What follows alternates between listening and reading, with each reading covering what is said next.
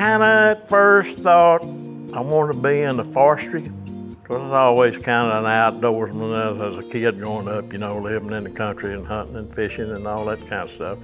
But when I got to high school, my high school coach made a big impression on me. And when I graduated, I decided I wanted to get into the education field and be a coach. And I got hired at Mansfield High School and taught and coached one year, and the head coaching job in Red Oak came open. It was an opportunity to advance as far as coaching.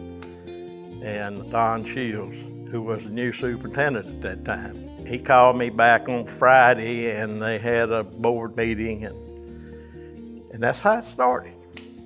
When I first met him, a cousin of mine introduced us. Um, they were going to a football game over at UTA and wanted me to go and meet Gaines. So that's when I went with him, was to a football game, of course, football. I've been married to Gaines now for 52 years. He's loyal to all his friends. He has very high integrity. I met her when I was teaching at Frost. She was a student at Navarro Junior College. We started dating her sophomore year in college, which was probably around Christmas time. And we got married in July and been together ever since. She put up with a lot, but uh, it's been good, I think, for both of us. At least I think it has, so I hope she does. if he is your friend, he will do anything for you. He'll go to great lengths to do anything for his friends.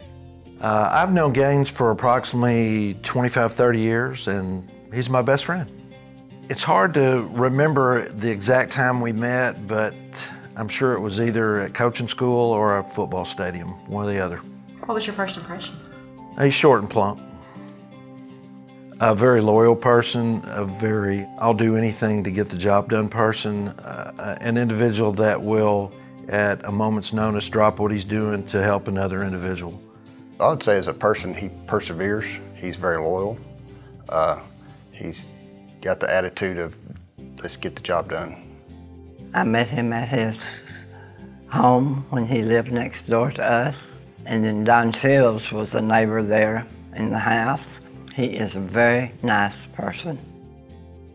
Honestly, he kind of reminds me of my grandfather in a few ways and uh, he's just he's really easy to get along with and really easy to work with and makes it fun to come to work with him every day. I first met Gaines whenever I started working here uh, three or four years ago, and my first impression was that uh, this is a guy that probably has a lot of knowledge that we could learn from. There's not anybody else out there that's got the knowledge about where what is as well as I do. And uh, that's just from being here, you know. I learned very quickly that I didn't put things in the same spot that Gaines did. And everything I set up, he changed to his spot. So from that point on, I knew that it was Gaines's way. That's why the sign on his street, Gaines's way, it makes a lot of sense. First impression was a tough teacher. He expected a lot, uh, but he was a fair teacher. If you tried, he would help you out. He wanted the effort. He wasn't so much about the grade, it was more about the effort from the kid. I was always a firm believer when I was AD and all this thing, and I, I felt like every student ought to be involved in something. UIL, one act play, volleyball, tennis, golf, whatever, so you could have some ownership.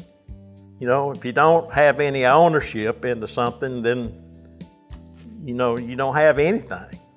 When I first met Gaines here at the business office in May of 2007, my first impression was that I wasn't sure exactly if he and I were going to get along very well together and that uh, we were going to have to figure out how, to, how the two of us would work together very well because I'm sure he had a different opinion of me just like I had of him at the time.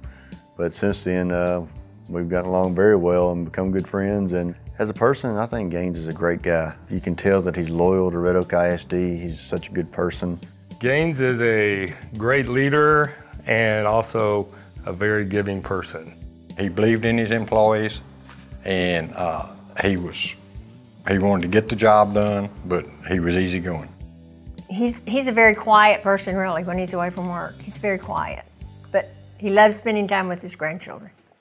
I don't ever regret coming here. Of course, I guess it's obvious I've been here 50 years. We won the first district football championship here. They decided they wanted to put my name on this building out here. That was overwhelming. Both of our kiddos graduated from here. My daughter is a principal for Pantego Christian Academy at Mansfield. And my son, excuse me, breaks me up a little bit, is associate uh, vice chancellor for the TSTC system. So, uh, Red Oak Schools did a good job getting them ready. So their graduation was very significant to see them make that milestone. I hope that people would remember me as being fair and uh, trying to do the best job I could do. Gaines will definitely leave a legacy of someone that uh, has strived to, to work every day as hard as possible and to make this district a better place. Through his hard work, this district is a better place. Gaines is just a super guy. He's a people person, and he can talk to the President of the United States. He could talk to uh, the B team girls basketball coach the same way. The legacy I think he would leave would be all the students, he's, their lives that he's touched. Not only the football players who still call him coach, we still see him around town. I think he will leave a big legacy with them because they all still hold him in such high regard. I think one thing that he will leave is the legacy had such continuity for our district and keeping things moving in the lean times and the good times. He's probably touched each and every part of the district in many ways throughout the years, and there's not anybody here that's not better for knowing Gaines and that he hadn't helped in one way or another. Gaines is somebody that's been in the district for one year less than I've been alive. You have a lot of people that work at places, they're there just to get a paycheck. And I can surely tell you that Gaines wants to do the best that he can on a daily basis, but it's, it's all about making a, uh, an input, making a, a difference. Fondest memory. Wow.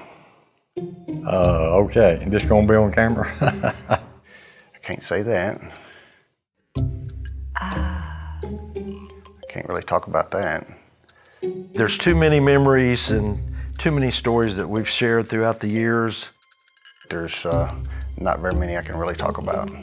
That's the one I don't want to answer. When he was telling a story about a guy that he taught and coached, and he said that uh, he had taught him biology and he was coaching him, and he knew the guy was doing the best he could, but he said, I tell you, that boy couldn't have passed biology if he had ate it. Probably some of my fondest memories is the Gainesisms. Like, that's like burning the barn down to get rid of the rats. Him and I was working over at the uh, old junior high. Uh, a door wouldn't lock in the back, and kids was getting in there. So him and I was back there working on the on the door. Well, bless his heart, his belt broke, and when his belt broke, his pants his pants fell down to his knees. so I run to the truck and got a rope and put around his waist. He's one of a kind. Do I ever see myself retiring? No, I don't. Well, I do everything that I want to do and still be able to be here and productive. It's just like taking a breath, you know, it's just what you do. Believe me, I have been where I didn't want to get up and go to work, but I didn't stay there long. The day I can't be productive, then that's the day I'll quit. Congratulations, Gaines, and happy 50th anniversary, all in one district. Happy 50th and congratulations, Gaines. Congratulations, Gaines, for 50 years. Happy 50th anniversary, Gaines. Look forward to many more years working with you. Congratulations, Gaines, on 50 years. Well deserved. Gaines, happy 50th, and just remember, um, you married way out of your league, son. Thank you. Happy 50th anniversary, Gaines. Uh, you were here when I got here in 2007. You'll probably still be working hard when I'm gone and retired, so good luck.